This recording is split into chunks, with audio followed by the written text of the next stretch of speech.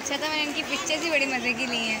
हर action की ली हैं। जब नीचे करते हैं जब ऊपर हाथ देके जाते हैं फिर सलूट किया इन्होंने। इनका समय अच्छा था। पाकिस्तान पाकिस्तान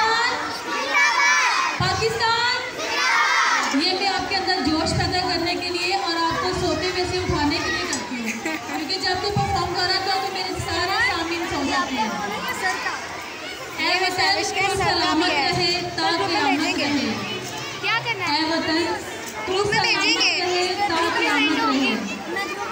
अब मैं दावा देती हूँ आज कि कहना आप ना फाइव ऐड और मुझे आगे पैसे सेंड को अपने नंबर कि वो अपनी जज्बों का इस्तेमाल करें और अपने प्यारे वतन पाकिस्तान के लिए जो इनके दिल में मोहब्बत है वो हम सबको दिखाएँ। मैंने हर बार नई